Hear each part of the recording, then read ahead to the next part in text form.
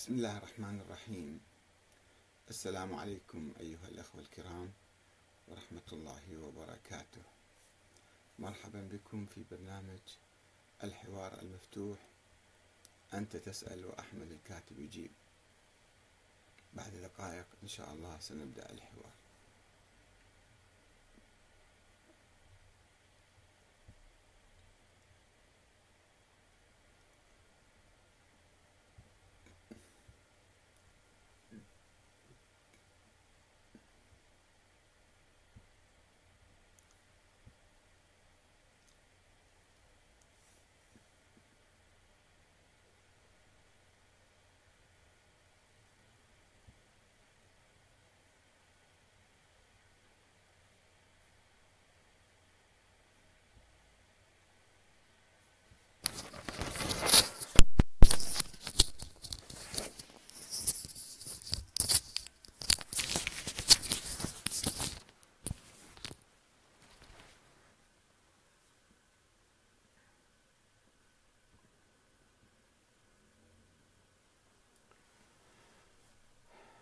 بسم الله الرحمن الرحيم.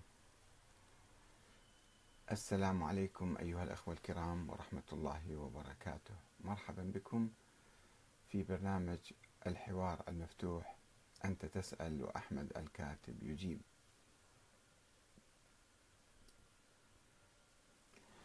في الحقيقة لدي مجموعة أسئلة من يوم أمس ومن أول أمس أيضا ولم أستطع الإجابة عليها أثناء الحديث يوم أمس. كما تعرفون أن الشيخ محمد الحميداوي طلب الحوار المباشر معنا.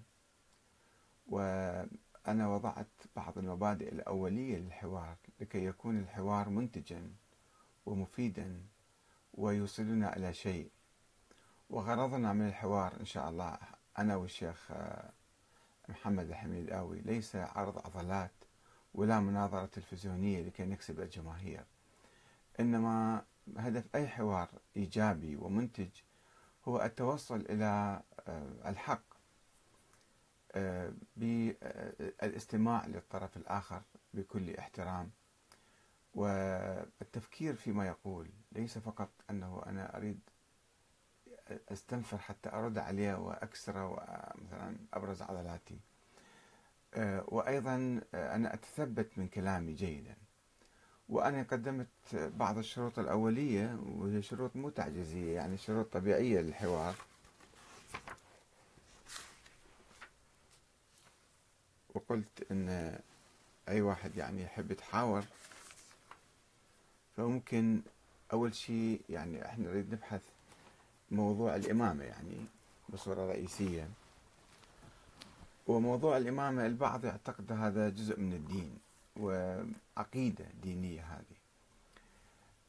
ويتساءل الشيخ حسين رزوقي المياحي أنه أنت تعال أفصل بين القضايا العقائدية والقضايا السياسية والتاريخية. أنا في نظري كل الأمور شيء واحد. مثل ما موضوع الإمامة والخلافة كان شيء واحد وبحثت معاه اليوم في حواري الطويل يعني ليس المباشر. هو كان يكتب مقالات وأنا أرد عليه ويرد علي. ونشرت اليوم في حلقتين يعني عقدة الشيعة من الشورى. لماذا وكي ومتى تزول حوار مع الشيخ حسين الرزوقي المياحي؟ قلت له أن الإمامة والخلافة هو موضوع الخلاف بين الشيعة والسنة شيء واحد مو شيئين.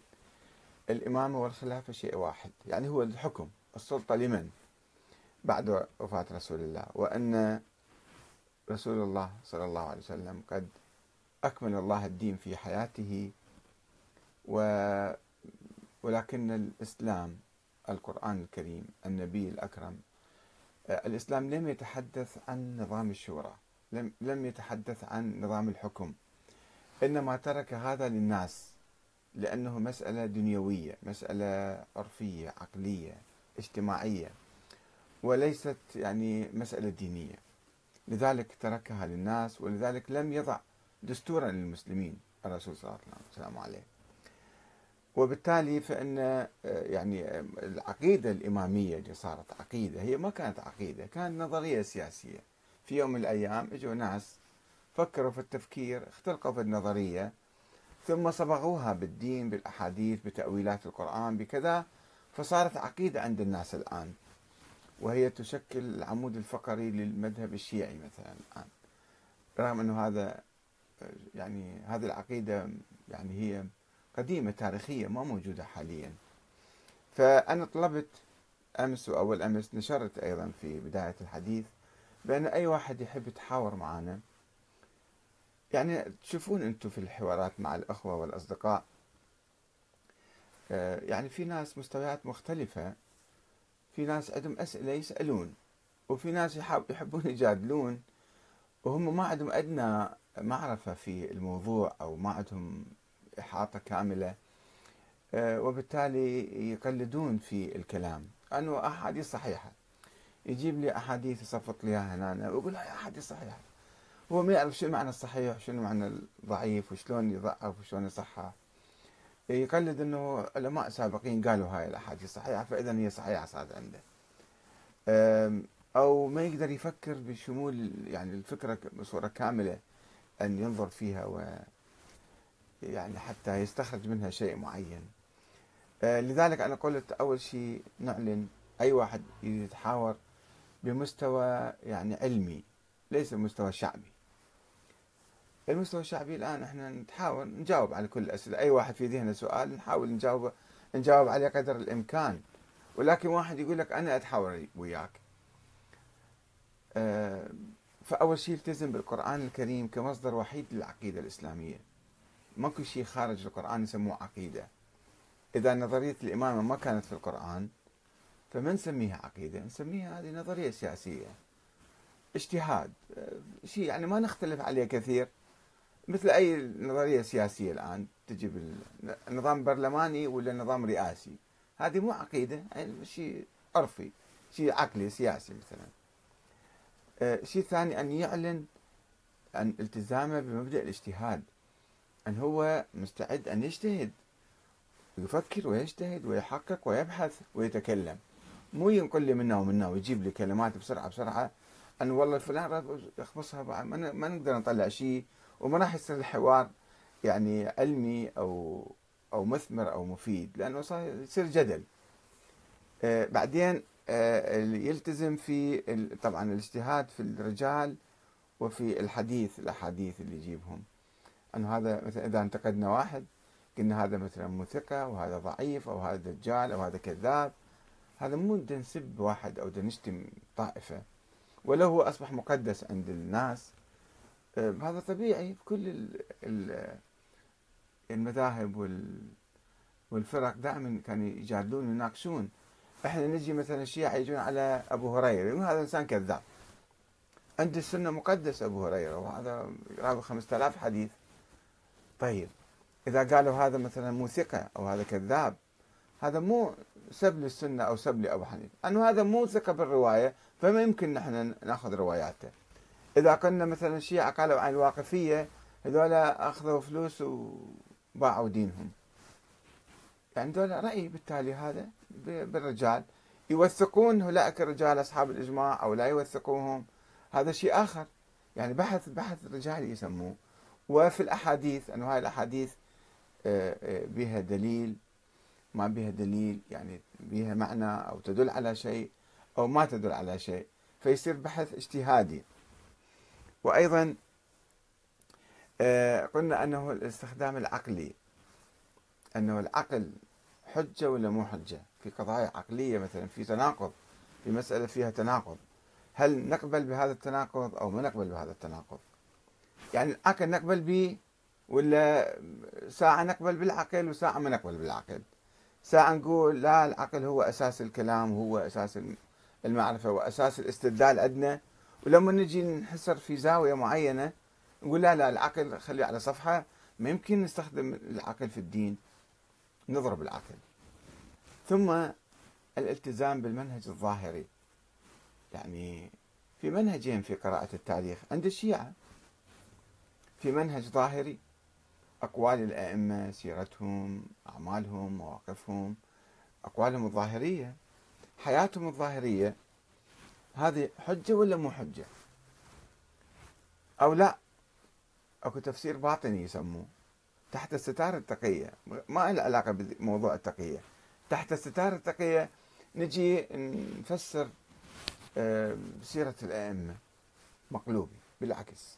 نجي نفسر مواقفهم نجي نفسر أقوالهم. نجي إنسان مات نقول لا ما مات. هذا تفسير باطني يصير. إنسان ما موجود ما مولود نقول لا ولد هذا الإنسان. ما عندنا أي دليل بس منهج باطني. سرا هذا مولود مثلا. أو سرا هذا هرب من السجن. سرا هذا آه، ما مات اختفى. هذا يسموه منهج باطني. فنحن لا لأي محاور آه، يريد أن يصل بالحوار إلى نتيجة مثمرة أن يلتزم مسبقا. حتى لا يدوخنا هواية نضيع وقتنا بجدالات واستعراض عضلات وكذا وبعدين ما راح نصل إلى نتيجة. ثم لابد من تحديد الموضوع موضوع موضوع. يعني إحنا خلال ساعة مثلا ما يمكن نبحث كل المواضيع. ولذلك أنا قدمت آه، خلاصة فكرية آه، أربع خمس سطور. قلت أنه أنت رأيك بهذا شنو؟ قل لي رأيك جاوب على هالنقاط ونبدأ منها هنا الحديث. آه، وواحد يعطي رأيه ثم طبعا التفكير الشمولي يعني لما نريد نسوي نظرية أو نكون فكرة معينة ما نأخذ حديث واحد وحديثين وثلاثة ونسوي نظرية؟ لازم نكمل الكلام كله من أوله إلى آخره كل فقرات النظرية. مو يعني آه يعني مثلا سيد محمد باقر الصدر رحمة الله عليه ينتقد نظرية الشورى. يقول نظرية الشورى باطلة. ليش باطلة؟ لأنه الإسلام ما مبين تفاصيل نظرية الشورى. من يستشير من يشار من له الحق بالمشاركة كيفية الحكم. تفاصيل كثيرة في نظرية الشورى ما موجودة الإسلام ما مبينها. فإذا نظرية الشورى باطلة. طيب نظرية الإمامة نفس الشيء. إذا قلنا نظرية الإمامة هل فصل الله تعالى أو النبي بتفاصيلها مثلا؟ نقطة نقطة. هي في فقرات كثيرة نظرية الإمامة. كل إمام وشلون صار إمام وكذا هذا بحث مستقل بحد, بحد ذاته. فنبحث كل الأمور حتى نصل إلى نتيجة. نشوف النظرية صحيحة يعني منتجة وقوية لو كلمتين ثلاثة وتوقف نص الطريق وبعد خلاص تخلص النظرية. فما يمكن إحنا آه، نستمر هكذا. فلازم واحد اللي يجتهد ويبحث يبحث في كل الأمور. وطبعا نقطة أخيرة هي الأخلاق الإسلامية يعني مسبقا واحد يدخل بالحوار حتى يبحث عن الحق وإذا ظهر الحق يلتزم به ويعلنه. يقول أنا هذا موقفي صحيح أنت أنا كنت مخطئ وموقفك صحيح. بهذه الطريقة يمكن يكون حوار إيجابي. أما واحد هو أساسا يريد يفهمك ويريد يسقطك ويريد يكسرك ويريد يحطمك ويريد كذا ويريد يبرز قدام جماعته والله أنا حاورت فلان. دائما يجون الأخوة يشوفوهم يذكرون أو عالم سبط إني يرد عليك وكتابه كذا هو أصلا ما قارئ الكتاب ما يدري إيش كاتب بالكتاب. ف بحث عرض عضلات يمكن يجي عالم سبط النيل يعرض عضلاته أنا رديت على أحمد الكاتب. طيب إيش رديت؟ إيش قرأت من الكتاب؟ أنت ما قارئ كتابي. هو يقول أنا ما قارئ كتابك مثلا وأنا رديت عليك. فشنو هالرد هذا قيمته؟ فالرد هذا يسموه عرض عضلات. الله يرحمه عالم سبط النيلي عرض عضلات وهو يقول لك أنا ألتزم بالمنهج الأخباري. بصراحة يأكد أنا عندي حلقة خاصة عنه وكتبت ونشرت من قديم في عدة طبعات من كتاب حوارات أحمد الكاتب.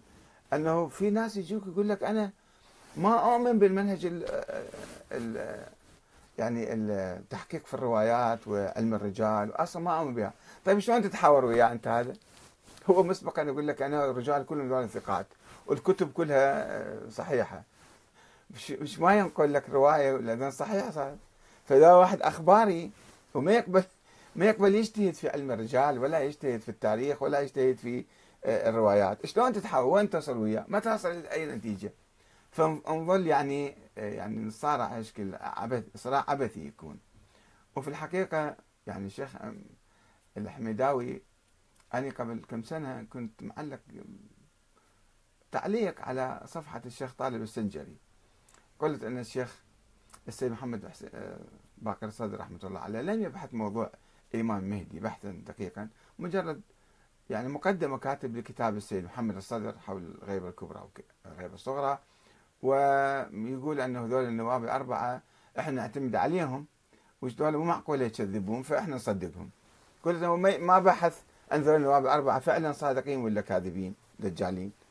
وشلون تعتمد على كلامهم؟ صار عندنا حوار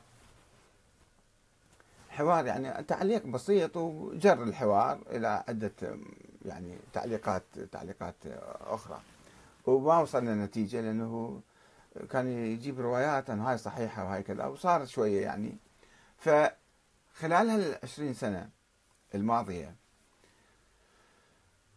كتبوا كتب كثيرة وناس صدوا على أساس للرد على كتابي تطور الفكر السياسي الشيعي من الشورى إلى ولاية الفقيه.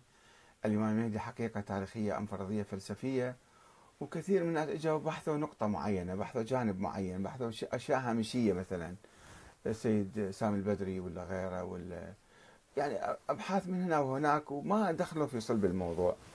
حقيقة الكتاب اللي أنا أحترمه ويعني أقدره وهو أفضل كتاب في الرد عليه و يعني وطبعا لم ينجح في الرد وإنما هو أقوى رد وأشمل رد وأوسع رد. وشيء يعني يبدو لجنة أو واحد هو تعبان ويستشير آخرين وكاتب الكتاب هذا اللي صدر عن مكتبة مركز الأبحاث العقائدية التابع للسيد السيستاني الإمام المهدي في الفكر الإسلامي. إذا واحد يريد يقرأ رد محترم فليقرأ هذا الكتاب أنا أدلكم عليه والبقية الردود الأخرى كلها.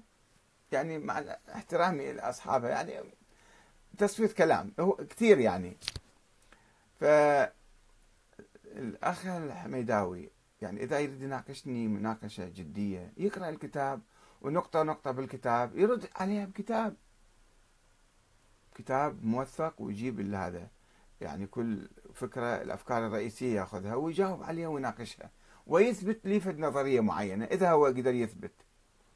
أما أن يجي تحدي إعلامي أنا أناظرك ومثلا أتحاور وياك. أهلا وسهلا.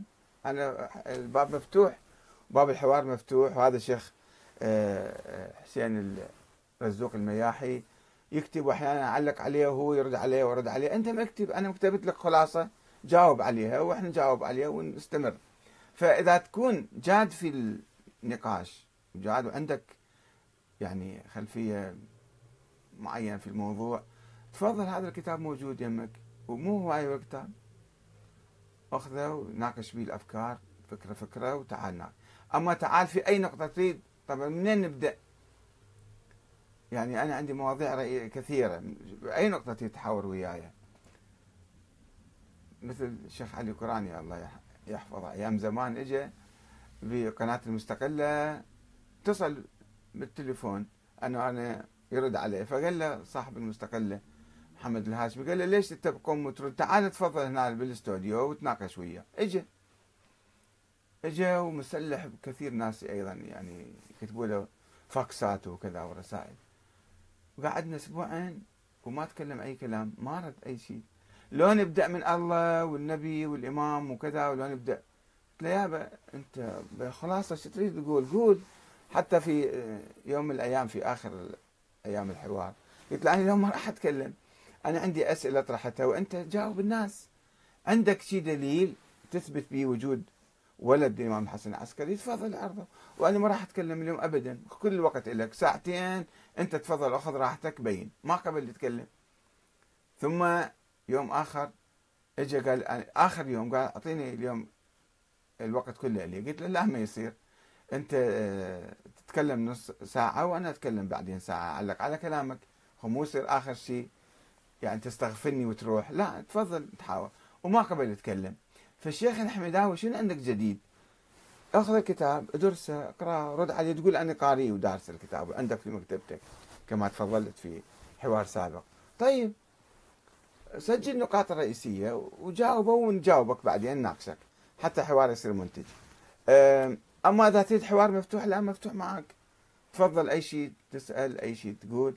حوار يعني أه، راح يكون سريع ما راح يكون شامل وجدي ويعني واسع ومعمق. ف هذه هذا جوابي. الأخوة كل ساعة حاطين إعلان انه مناظره بين فلان وفلان. أهلا وسهلا. مفتوح الحوار لل... أي واحد يعلق ويقول.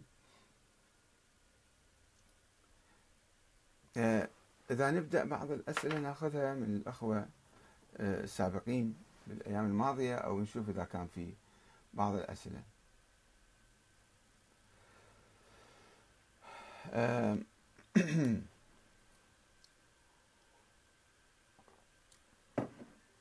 أرجو عدم الاتصال المباشر في مع لأنه يشوش على الصفحة وما أقدر أشوف بقية الأخوة. فرجاء الأخوة اللي يسمعون الآن لا يتصلوا مباشر رجاء. فقط يقول آه، نوفل الجزيري فقط حالة خلافة الإمام علي وهي حالة شاذة في التاريخ. كان اختيار جماهيري. من النقاط اللي بحثناها اليوم مع الشيخ آه، حسين المياحي أنه هو يقول وسألني عدة أسئلة حول تجربة الخلفاء الراشدين الأربعة أنه ما كان في شورى وبالتالي نظرية الشورى باطلة وهذا في منطق غريب يعني. الآن في أنظمة ديمقراطية بالعالم إذا كان نظام ديمقراطي فاشل في مكان أو سوينا في بلد معين فلا يعني أن الديمقراطية صارت فاشلة والديمقراطية لازم نتخلى عنها ونجيب نظام عسكري مثلا. فشل ما كان في دستور عند الصحابة. الصحابة فوجئوا وفاة الرسول صلوات الله وسلامه عليه. الرسول توفى ولم يتحدث عن نظام سياسي أبدا. لا بالقرآن ولا هو. اتركونا هسه من مسألة الشيعة يقولون عين إمام علي. لا خلوا هذا على صفحة. أنه ما ما كان في نظام سياسي. آه، الأنصار بادروا وهم كان قبل ما يجي النبي كان دي, دي يسوون تاج إلى زعيمهم عبد الله بن أبي. حتى يتوجوه ملك اجى النبي آه، وهذا بعد خلص تنازل عن السلطة مالته أو راحت السلطة من عنده. لما توفى النبي سعد بن عبادة والأنصار الأنصار والخزرج يعني أوس والخزرج قعدوا وقالوا خلينا ننتخب واحد ملك علينا أو أمير أو زعيم مثلا. الأنصار المهاجرين سمعوا أبو بكر وعمر وأبو عبيدة وكذا إجوا قالوا لا شلون أنتم قاعد تسوون أمير لكم لازم الأمارة تكون إلنا لأنه العرب ما يقبلون بيكم يقبلون بينا. الخلافة في قريش مو فيكم أنتم واتفقوا بايعوا ابو بكر بالسقيفة. وبعدين إجوا للمسجد ما فرضوا بالسقيفة هو. بيعه يعني أول أولية هاي كانت. إجوا بالمسجد وانتظروا الناس. الناس قعدوا بالمسجد وبعدين بايعوا أبو بكر. المسلمين بايعوا. وإمام علي آه، تأخر ست اشهر تقريبا. بعدين اجى بايع. وانتهى الموضوع. فصار في ثغرات لأنه ما في دستور مو واضح. منو ينتخب منو ما ينتخب منو آه، يعني أصحاب الشورى من هم آه، وكان يعني في في بساطة في الحكم في نظام الحكم وكان في ثغرات ولذلك بعد 25 سنة نظام الخلافه صار في فتنة فتنة لأنه ما في دستور وما في محكمة تحكم بين الناس محكمة دستورية ما كانوا يعرفون هالشيء هذا فصارت معركة وصارت فتنة وصارت حروب وانهارت تجربة الخلافة واجوا الأمويين سيطروا بالقوة وراحت. فإذا فشلت التجربة والجماعة ما عرفوا يطبقون الخلافة بشكل جيد لا يعني أنه هذا المبدأ العقلي الإنساني نلغيه. الآن كل العالم بعقلهم يقولون أفضل نظام هو النظام الديمقراطي. يعني الحكم يأتي من الشعب خلاصة النظام الديمقراطي. هسه في أنظمة تختلف كل نظام كل بلد النظام يختلف عن البلد البلد الآخر. آه، ولكن بالنتيجة يقولون الحكم من الشعب. حتى اكو بعض الملوك ما يتوارثون الحكم. يقول الشعب شي يريد من عندنا. الشعب ينتخب الملك ويبقى إلى أن يموت يجي واحد مكانه. يعني مثل البيعة مثل ما بعض الفقهاء المسلمين أيضا قالوا لازم يبايعوه للخليفة أو للملك. فهذا النظام العقلاني هو الموجود من أول يوم. ذاك الإسلام ترك للناس لعقلهم ولظروفهم. لظروفهم في كل زمان ومكان يقعدون يتفقون ويسوون في النظام بيناتهم. هذا الشيء المعقول. طبيعي ما في غيره. يعني إحنا عندنا نظريتين. لو الحكم للناس بالشورى يعني هم ينتخبون ولا ولا الله يعين إمام كل يوم مثل ما يعين الأنبياء. طيب هاي النظرية وصلت لطريق مسدود وانتهت ولم يبقى بالساحة بحلبة المصارعة إلا النظام الشورى اللي إحنا الآن الشيعة نطبقه قبل غيرنا وأكثر من غيرنا.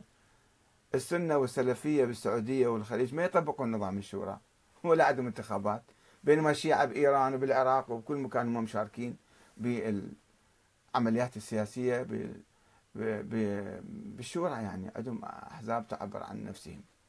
ف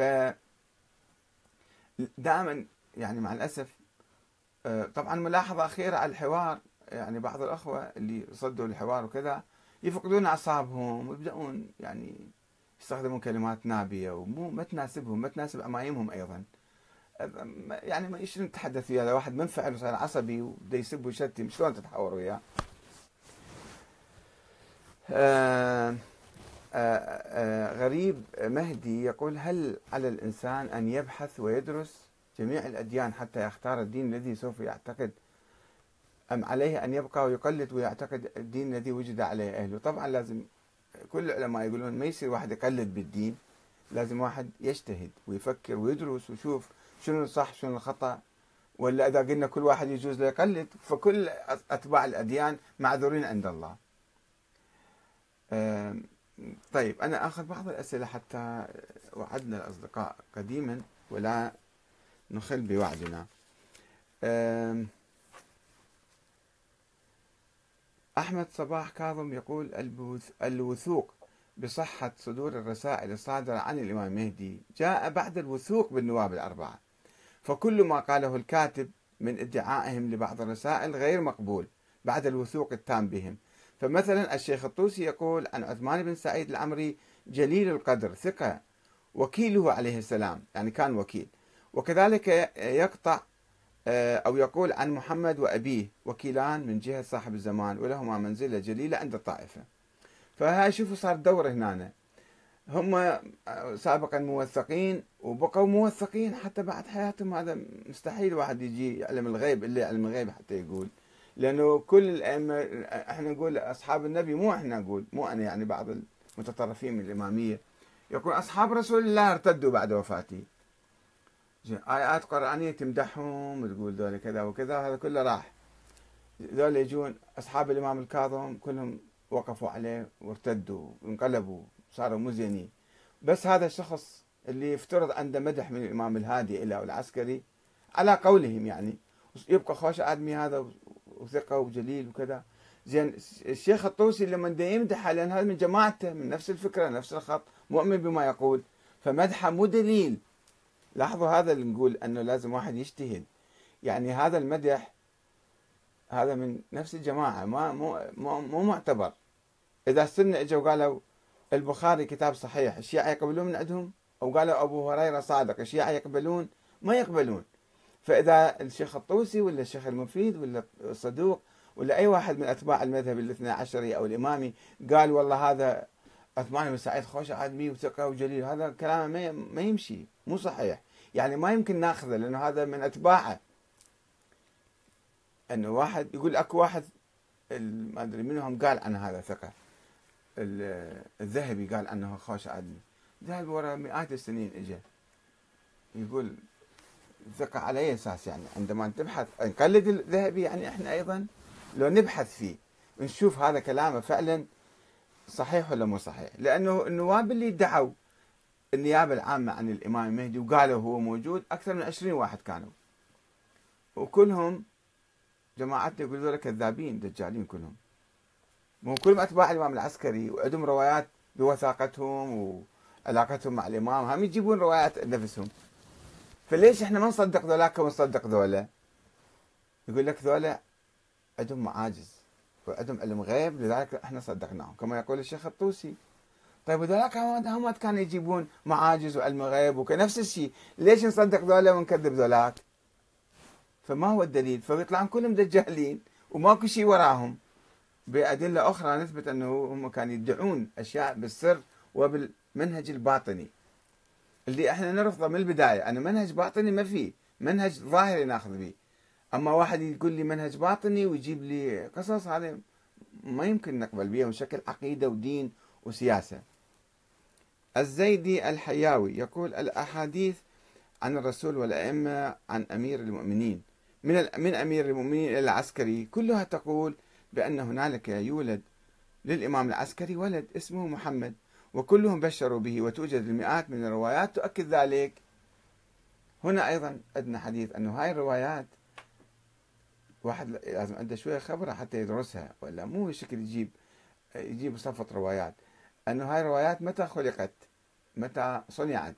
هل كانت في البداية ولا ما كانت؟ نبحث بالتاريخ نشوف أنه كل هالكلام هذا الشيعة كانوا يعرفوه في زمن العسكري وبعد وفاة العسكري. ليش إذا احتاروا؟ ليش تفرقوا 14 فرقة؟ وصاروا يبحثون ويسألون ويحققون وما لقوا نتيجة. واحتاروا صاروا العصر سموه عصر الحيرة. لأنه ما كان في شيء واضح. إذا مثل ما تقول يا أخ زيد الحياوي كل شيء واضح والنبي بشر وأحاديث موجودة. ليش لحد الشيعة العسكري ما عرفوها؟ شوف مو واحد لما لازم يقارن بالأحاديث حتى يكتشف أنه هذه أحاديث مختلقة في فترة معينة ولا كانت من زمن النبي. مثل حديث الاثنى عشرية. يقول لك أوه النبي قال حديث الاثنى عشرية. زين ليش الشيعة خلال علماء الشيعة وفقهائهم ومتكلميهم وكبارهم وعامتهم وخاصتهم ما كانوا يعرفون الإمام بعد الإمام منه هو؟ كل الأئمة. لذلك كانوا يسألون منو بعدك؟ وأحيانا يقول أحيانا ما يقول الإمام. فإذا وجود قائمة بأسماء الأئمة الاثنى عشر هذه أسطورة ما لها حقيقة. واحد لما يقارن يفتهم ويكتشف أنه الفكرة ولدت في القرن الرابع الهجري وسرقوها من السنة جابوها من السنة وركبوها وقصقصوها وشذبوها وهذبوها وسووها نظرية عقيدة اثنا عشرية وإلا ما كانت موجودة لا أحد من الشيعة يعرفها ولا من الأئمة قال بها فهذه الاجتهاد هنا في نقد الروايات ومقارنتها بالتاريخ وبالروايات الأخرى وبالقرآن وبالهذا حتى نقدر نفتهم. مو تجيب لي روايات باطنية سرية. الإمام الكاظم هم اللي نقلوا إمامته ذولا هشام سالم الجواليقي ومؤمن الطاق والجماعة يقولون هو ما كان يتحدث ما كان يقول أنا إمام. وسرا قال لنا إحنا فقط. سرا ما يمكن نقبل إحنا شيء سرا. هذا يسمى منهج باطني. فإذا أنتم قاعد تختلقون روايات على الإمام الكاظم تعترفون بنفس الرواية. ان الإمام الكاظم ما كان يدعي الإمامة وفي نفس الوقت تنسبون إلى القول سرا بالإمامة. وهذا منهج باطني نرفضه في التفكير. لذلك أنا قلت منهجيتنا في البحث يجب أن تتوضح يا شيخ محمد الحميداوي. مو شكل نبحث خلينا نوضح مسبقا منهجنا في في التفكير والبحث والاجتهاد. نأخذ الأشياء الباطنية والأشياء الظاهرية. علي العبد الله يقول أنا مأمور من رسول الله باتباع الكتاب والاترى كي لا اضل طيب بس شنو الاترى شنو منو الاترى هم؟ يعني كتاب الله معلوم واضح. الاترى تقدر تحدد لي إياهم من هم؟ وشلون واحد واحد تثبت لي إياهم؟ محمد سعيد أو سعدون الدينيناوي يقول أنت تقيس على ظاهر القرآن وظاهر الروايات وتقبل التي توافق عقلك وترفض التي تخالف رأيك ومنها روايات عن الإمام مهدي والإمامة والعصمة ما هو هذا البحث هنا؟ الاجتهاد هنا. لازم واحد يجتهد حتى يقدر يميز أن هاي الرواية صحيحة ولا خاطئة. هذه الفكرة صحيحة ولا خاطئة؟ تحتاج اجتهاد مو شكل كيفي أنا دا يعني مزاجي شخص مو مو شغلة مزاجية. أه، بلندار مغاني حسين اغا ناميدي يقول يا إخوان ليس إحنا العراقيين من يطرح رأي مخ... من يطرح رأي مخالف أه، لمعتقداتنا سواء الدينية أو السياسية ننتفض ونشعر بالإهانة ونبدأ بتكفير المقابل إذا الرأي ديني أو بتخوينه إذا الراي سياسي. بدل ما نستمع للمقابل ونرد عليه حجة بحجة وبدون مراوغة وباحترام علنا نستفيد من الرأي المعاكس. ما شفت أي رد حجة بحجة من الأخوة المعارضين لأخ الكاتب. الذي لا أعرفه ولكن هو طرح رأي وأسنده بأدلة قابلوه بالمثل. آه يعني بالتالي آه شكرا لك يا أخ. آه إحنا نحتاج يعني على مستوى من من البحث العلمي حتى يمكن نوصل إلى نتيجة. والمشكلة أنه علماءنا كبارنا مراجعنا ما كانوا يبحثون في هذه الأمور. لذلك تصير آه، مسألة يعني مفاجئة لهم وغريبة وجديدة.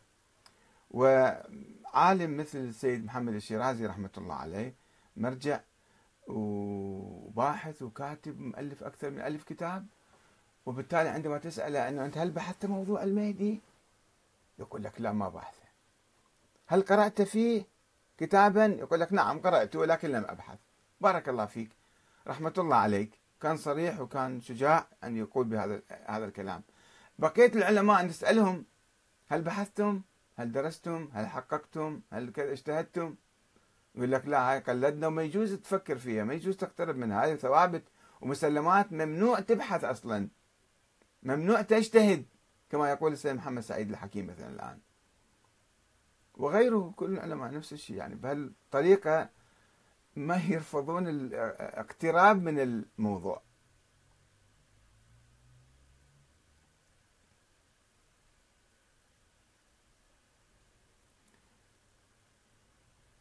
آه،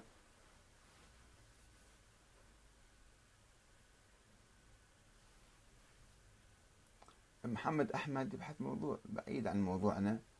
يعني آه، إحنا نبحث الآن في موضوع خاص هو الفكر السياسي الإسلامي وبالذات الفكر السياسي الشيعي. آه،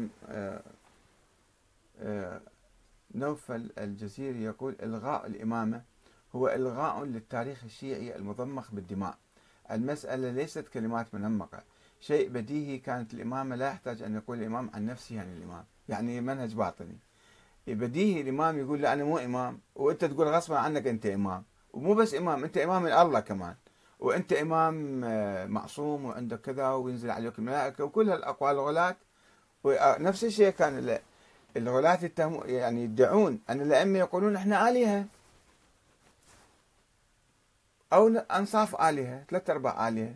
وهذا الإمام ما يقول لأنه يخاف يقول الكلام. تقية يسوي. فما يصير أنت تنسب إلى ناس نظريات وأقوال هم ما متبنيها علنا. لازم تأخذ المنهج العلني المنهج الظاهري. وهذا حجة بينك وبين الله. المنهج السري الله ما يحاسبك عليه. ولا أي عاقل يحاسبك عليه. أنت متى تقول شو نسوي لك يعني؟ أه تقدر تعرف الإمامة أولا. الإمامة يعني نظام الحكم. يعني الخلافة الإمامة يعني الرئاسة الزعامة. وإحنا آه، عندنا دين موجود في القرآن الكريم وعندنا شريعة. النبي محمد خاتم الأنبياء بعد ما عندنا إضافة. اليوم أكملت لكم دينكم وأتممت عليكم نعمتي ورضيت لكم الإسلام دينا. خلاص. اللي عندنا الآن من يطبق الدين؟ وكيف ننتخب هذا الحاكم؟ وما هي شروطه؟ وما هي مواصفاته؟ هذا الكلام عن الإمامة. فالإمامة البعض قالوا يكفي واحد يكون فقيه عادل أو إنسان عادل يطبق الدين. وناس إجوا قالوا الإمامية قالوا لا لازم يكون معصوم من الله ومعين من قبل الله. وطبعا هم قالوا في النظرية بس ما قدروا يمشوها ما قدروا يعني ينفذوها ويسوقوها لأن بسرعة تعثرت النظرية وقعت سقطت انهارت. يعني الإمام علي انتخبوا الناس وقال اكو احاديث بفضله من من النبي. والإمام الحسن انتخبوا الناس وصار إمام والحسين هم صار إمام انتخبوا الناس وبايعوه. أهل الكوفة بايعوا مسلم بن عقيل بالنيابه عن الإمام. طيب وبعد الإمام الحسين محمد بن حنفية صار إمام الشيعة وابنه أبو هاشم أعظم أئمة الشيعة في القرن النصف الثاني من القرن الأول. آه، اجى الإمام زين العابدين يقول أنا مو إمام مسكر الباب وقاعد بالبيت. ما يقبل يلتقي بأحد أصلا. ما كان يدعي أصلا حتى إمامة سياسية عادية ما كان يدعي فضلا عن إمامة إلهية. وأنه معين من قبل الله أصلا ما عنده أي نص بهالموضوع. طيب شلون تثبت أن هذا آه، زين العابدين إمام معصوم معين من قبل الله والإمامة في ذريته واحد بعد واحد حتى تصير حتى نستمر الباقر والصادق والكاظم. حسب نظرية الإمامة. أول شيء إثبت إمامة زين العابدين من الله. ماكو لا نص ولا وصية كل العلماء يقولون كل الأحاديث عن الباقر والصادق أنه الحسين ما أوصى إلا في كربلاء. لما به كان يموت مريض كلش يعني كان ميؤوس من عنده. ف طيب كيف الدليل على إمامته يقولون الحجر الأسود تكلم سلم عليه بالإمامة بلسان عربي فصيح. السلام عليك يا علي بن الحسين. هذه أسطورة. فما يمكن نبني عقيدة ونظرية سياسية أو دينية على أسطورة. أحد يقول مو أسطورة هاي القصة؟ من يصدقها من عندكم؟ خلي خلي يرفع إيده خلي يكتب لي واحد. أنت شوف من مصدق هاي الأسطورة. أن الحجر الأسود تكلم للإمام زين العابدين وأنشأ الإمامة. هو الحجر الأسود للنبي محمد ما تكلم للإمام علي ما تكلم. فشلون يجي يتكلم زين العابدين؟ فهذا أقاويل الغلاة والمخرفين يعني مو مو مو شيء ديني هذا ولا شيء إسلامي ولا ولا شيء من منطق الإسلام أنه حجر أسود يتكلم. بلسان عربي فصيح بعد. نوفل الجزيري يقول لي أنت تخلط بين الامامه والخلافة، اليوم كان حديثنا مفصل لو تراجع حوارنا مع الشيخ حسين المياحي حول هاي النقطة حتى تعرف أنه نخلط ولا أنت تفصل. ولا الشيخ حسين كان يفصل ولا سيد مرتضى عسكري كان يفصل بين الإمامة والخلافة هو شيء واحد ماكو شيء شيئين. هي الإمامة يعني الخلافة. الخلافة يعني القيادة يعني الزعامة يعني الرئاسة يعني الإمارة يعني السلطنة. شو تسميها؟ سميها هي شيء واحد. الحكم لمن؟ الحكم وكيف يأتي الحاكم ومنو ينتخبه وشنو صلاحياته وش قد يبقى وكم سنة؟ هذا اللي الآن بالدستور موجود. النظام السياسي اللي عندنا أي نظام سياسي في العالم يحدد بالدستور نظام الحكم. هذا ما موجود بالإسلام. لا الله تحدث عنه ولا نبي محمد. ما موجود بالقرآن. لذلك ترك الله للناس. لذلك مسألة السياسة أقول مسألة عرفية مسألة مدنية مسألة عادية مو مسألة دينية. وهذا بحث طويل عدة مرات ناقشناه. آه آه الآن أخذ خلف عزيز. يقول تعليقا على حديثنا عن الديمقراطية في إيران يقول آه، الولي الفقيه أو النظام الولي الفقيه يقصد لا يمت بالديمقراطية أو لا يمت إلى الديمقراطية بشيء, بشيء أو بصلة فهو مجرد نائب للإمام الغائب مكلف بتطبيق ما يشاع أن الإمام الغائب يريده ولا يملك أحد بالخروج على هذا الأمر وعلى ولي الفقيه أن يقمع كل ما يتناقض مع هذه الأفكار والممارسات. أين الديمقراطية؟ يعني هذا مثل حديثنا عن الخلفاء الراشدين أنه كان ديمقراطية كان خلاف شورى ولا ما كان شورى؟ أه وأكو ديمقراطية بإيران ولا ما أكو ديمقراطية بإيران؟ الحقيقة هو أكو نظام ديمقراطي دستور فيه الدستور يحدد أن السلطة من الشعب والدستور كل الشعب الإيراني صوت عليه مرتين مو مرة واحدة يعني 79 و 89 أن النظام الحكم ينبثق من الناس من الشعب عبر انتخابات برلمانية ورئاسية مباشرة وانتخابات للقائد بصورة غير مباشرة عبر انتخاب مجلس الخبراء 80 واحد. هذولا ينتخبون القائد عند وفاة القائد السابق. فهذا هو النظام الديمقراطي. الآن تجي على التطبيق. يمكن يصير شوية زيادة نقصان شوية مثلا عنف شوية تجاوز القانون. مجلس صيانة الدستور ما يرشح جماعة يجيب جماعة يودي جماعة يصير لعب بهذا النظام. هذا ممكن وهذا موجود فعلا.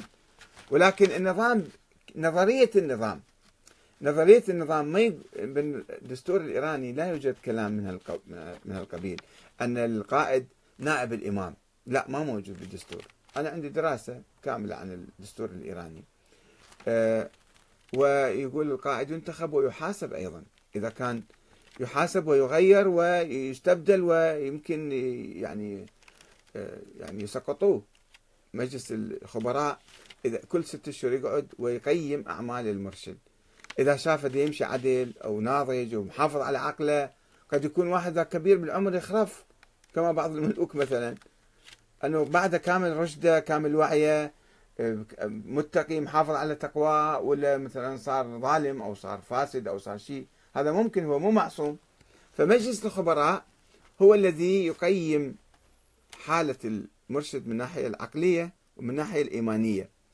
أنه عادل ولا مو عادل؟ اللي يشترط فيه يكون عادل.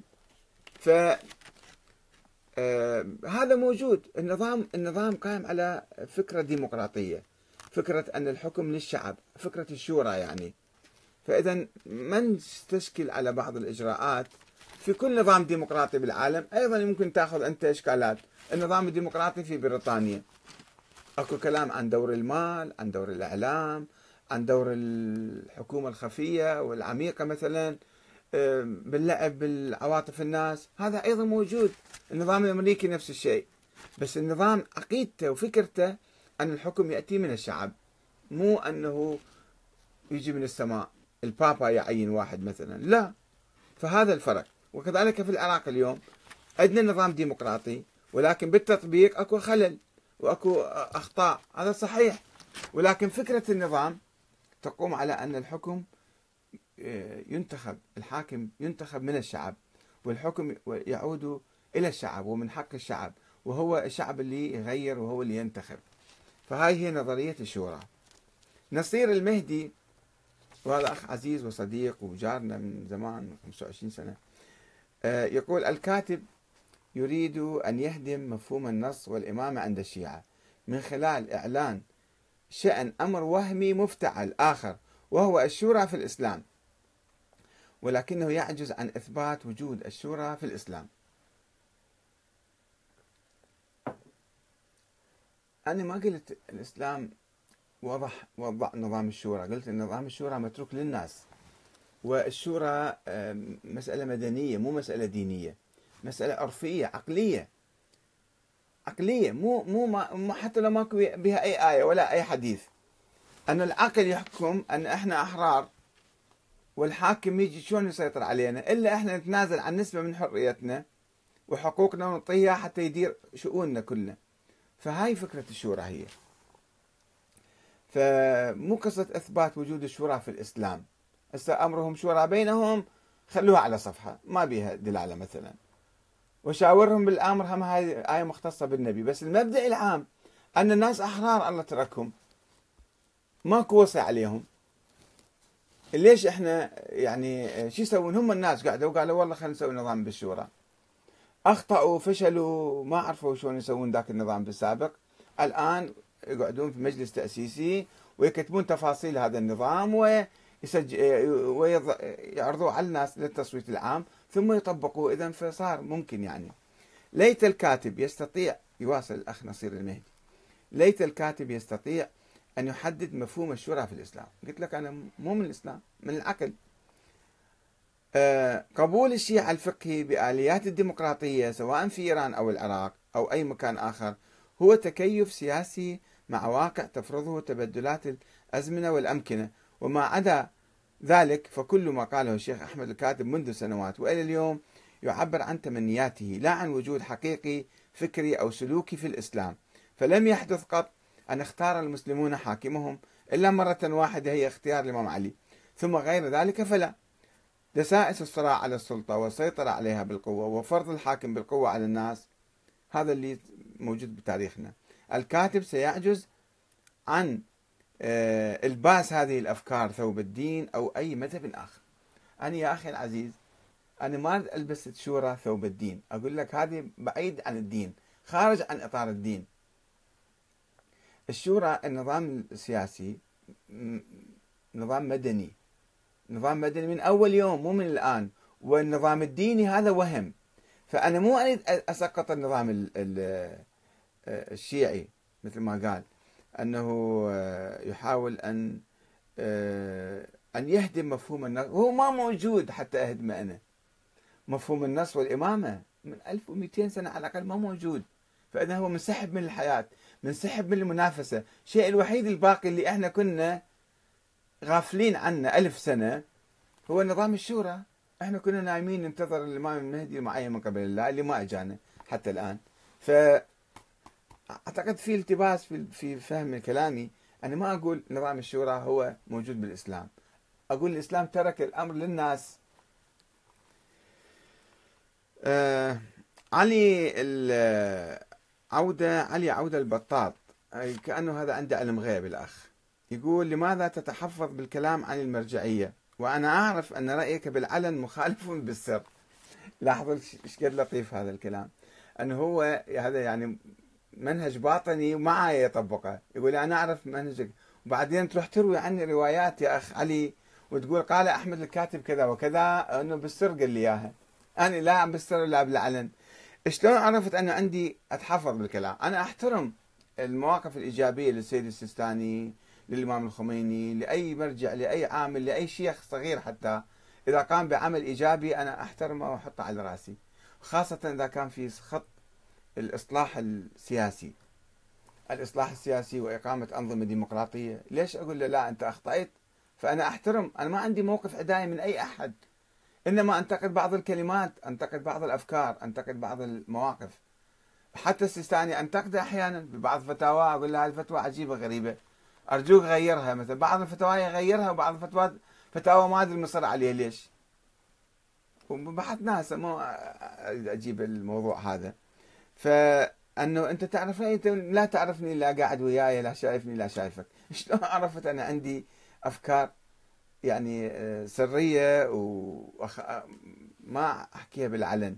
هاي نفس الشيء القصة اللي كانت زمن الائمه يجون ناس يروون عنهم روايات يقول بالسر قال لي الإمام.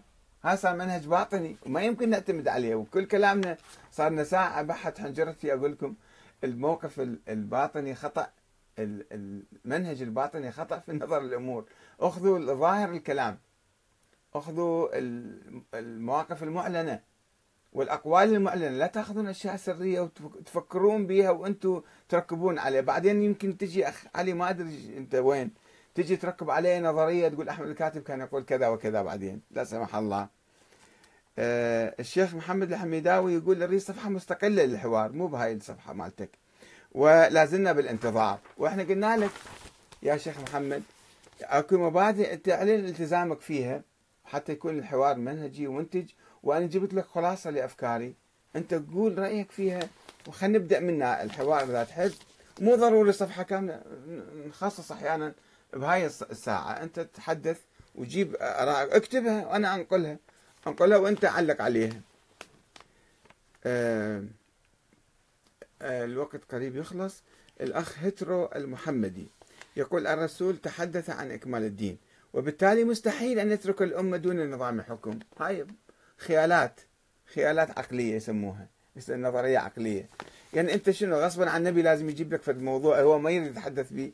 هو تارك للناس هو في حديث أصلا عن النبي يقول أنا آمركم بأشياء فسووها أنهاكم عن أشياء لا تسووها وأسكت عن أشياء لا تسألوني عنها أنتم بالخيار فيها.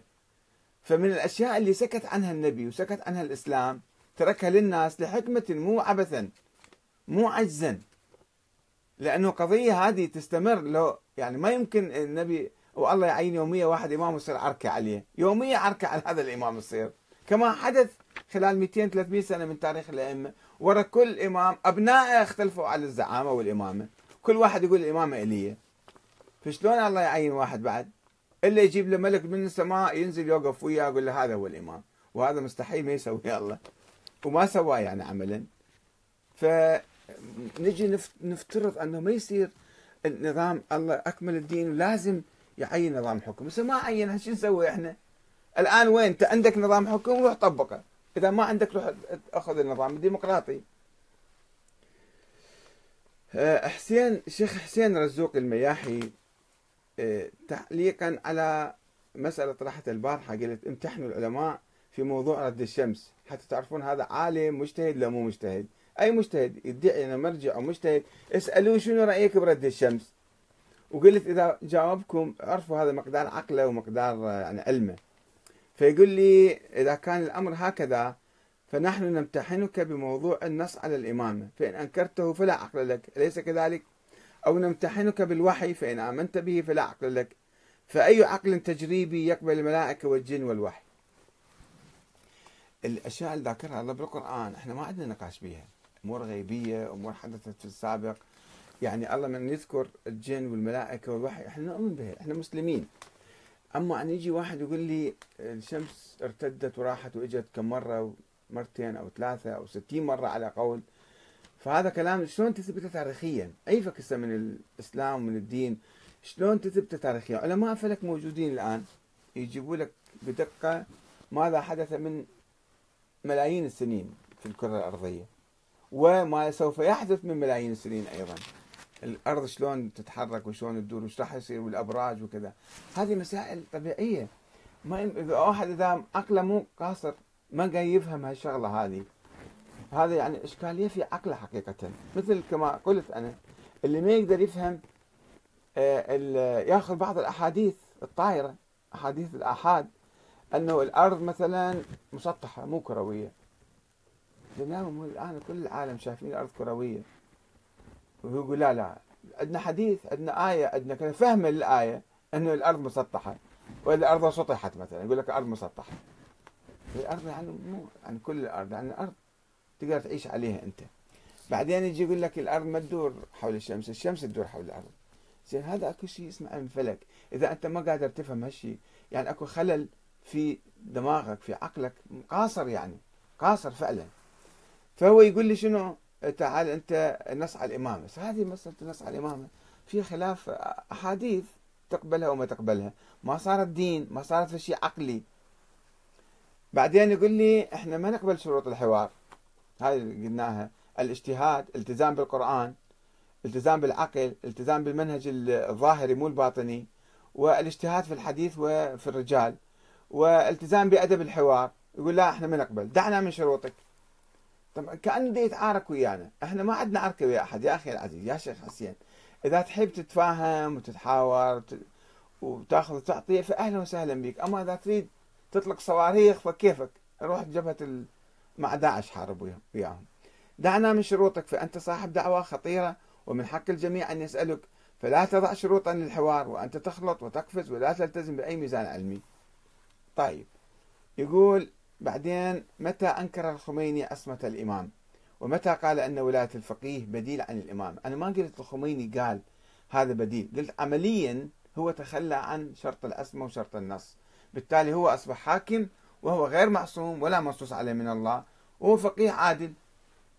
فهاي النظرية الآن الجديدة في ولاية الفقيه هي نظرية طرحوها الزيدية وطرحوها آه، الإسماعيلية على الشيعة الإمامية آه، في القرن الرابع ورد عليها الشيخ الصدوق والشيخ عبد الرحمن بن قبة ونقل القول ماله في كتابه آه، في مقدمة كتاب إكمال الدين وإتمام النعمة. أنه ولاية الفقيه يعني نجيب حاكم فقيه عادل هذا يتناقض مع دين الإمامية كما يعبر الشيخ الصدوق. يقول دين الإمامية يتناقض مع هذا. يعني ماذا؟ يعني إحنا نشترط أن الحاكم يجب أن يكون معصوم وتقولون لنا جيبوا لنا فد واحد رئيس مو معصوم هذا شلون صار تناقض؟ وفعلا كان هذا التناقض. فإذا النظرية الحديثة نظرية ولاية الفقيه تتناقض 100% مع نظرية الإمامة. وبالتالي النظام الإيراني الحالي ليس إماميا وليس إثنى عشريا. جو بالجوهر ماله. بالقشور وال والطقوس وكذا ما علينا بيها. نحكي على الجوهر. آه يقول آه يعني هذا أهم شيء اللي كان في كلامه. آه إلى هنا ونكتفي بهذا الحوار. ونشوف إذا كان بعد اكو سؤال. هاي هو يجاوبنا الآن شيخ حسين رزوق المياحي. يقول كيف تثبت تاريخيا أن البحر انفلق لموسى أو أن أصحاب الكهف ناموا 300 سنة وأكثر؟ أنا ما أثبت تاريخيا. أنا هذا النبي القرآن ذكر هالشيء خلاص أنا أؤمن بالقرآن ولا أناقش فيما حدث في التاريخ. والله معجزة يمكن يثبت البحر مو فد قضية يعني آه، مثلا نهر يوقفه مو فد مشكلة هذه. بس أنه الكون يومية الشمس راجعة يعني هذا معناته الأرض تاخذ brake قاعد تسير بسرعة آلاف الكيلومترات بالساعة تاخذ brake وترجع لي ورا. فكل شيء راح يطير من عندها. يطير الماء والهواء والريح والأشجار والبشر وما يبقى شيء على وجه الأرض بهذه الطريقة. تجرب نفسك إذا قاعد بسيارة تصير ب 100 كيلو سرعة 100 كيلو أو 120 كيلو وتاخذ brake. شنو يصير؟ كل الناس يطيرون. لو ما لابس حزام تطير من السيارة فالأرض لما ترجع هي مو الشمس رجعت هي مو طوبة الشمس بالسماء الأرض هي قاعد تدور وبالتالي إذا رجعت يعني لازم يصير يصير طيران ما يبقى شيء يعني من هذا. ففرق آه، بين أنه معجزة واحد نام والله سوى معجزة. معاجز كثيرة النبي نوح عمره طويل معجزة. النبي عيسى ولد من دون أب معجزة. كل معاجز نؤمن بها أما هذه مو مذكورة في القرآن يا شيخنا العزيز. مسألة رد الشمس هذه مو قضية عقدية دينية حتى تؤمن بها. ها قضية تاريخية. اجوا ناس قالوا لك والله الشمس رجعت. الامام علي كان رايح مدري وين بابل و وتأخر تأخر عن الصلاة ورجع رجع الشمس بعدين بايدي هذا كلام يمكن غيم جاي يمكن سحاب وراح بعدين. فانت تؤمن بهالكلام معناته أنه ما تريد تجتهد يعني ما تريد تفكر وتبحث. يقول إذا إذا نستخدم العقل فلا يثبت حتى الوحي. ليش ما يثبت الوحي؟ يعني شلون؟ لك أنت صار متدين ومسلم ومعمم وشيخ وكذا. غير أنت آمنت بالله بعقلك وآمنت بعقلك. العقل هو الأول شيء. الوحي يثبت بالعقل. العقل هو أسأل الله طانا النبي الداخلي. العقل نبي باطن. والعقل يقول لنا آه الله موجود ونعترف بنبوة محمد. نشوف معجزة القرآن فنؤمن. فإذا العقل هو أولا وأكو أشياء علمية. أكو أشياء عقلية وأكو أشياء علمية. فما يصير أنت يعني تصدق أي رواية بسرعة. هاي الرواية كاذبة أحد. فد مرة عجوزة عمشة كذا قالت فد كلام. شافت الشمس رجعت يمكن صار غيم جاي كذا وهي عسبالة غابت الشمس. وراح الغيم وجاء رجعت الشمس مرة ثانية. فما يمكن تأخذ ظاهرة كونية عالمية وما حد ما شايفها. وما حد ما قايلها وما حد ما مسجلها لا قديما ولا حديثا. وتصدق بها شلون يصير؟ يا شيخنا العزيز شوية فكر من هالناحية. أنه إذا في ظاهرة كونية صايرة لازم كل الناس يشوفوها. مو أنه فد وحدة عجوزة تشوف. فهذا هذا الفرق اللي أقول أن امتحنوا العلماء بسؤال سؤال عن رد الشمس. أنه هاي الظاهرة الكونية ما حد ما شافها ما حد ما سجلها ما حد ما عرفها. والناس كانوا يسجلون مو قد مو بعيد هواية قبل 1400 سنة فتعرفون المستوى العقلي للباحث وللمجتهد أنه هذا بده يجتهد ولا بعده لازم شوية يرتقي بعقله حتى يصير مجتهد. آه الوقت انتهى الآن إذا عندك أسئلة أو شيء شيخ حسين أنا آسف يعني لطريقة الحوار يعني شوية لو تسيطر على الأعصاب أيضا شيء أفضل حتى يمكن نستفيد من عندك. وإلى هنا شكرا جزيلا لكم. والسلام عليكم وتصبحون على ألف خير والسلام عليكم ورحمة الله وبركاته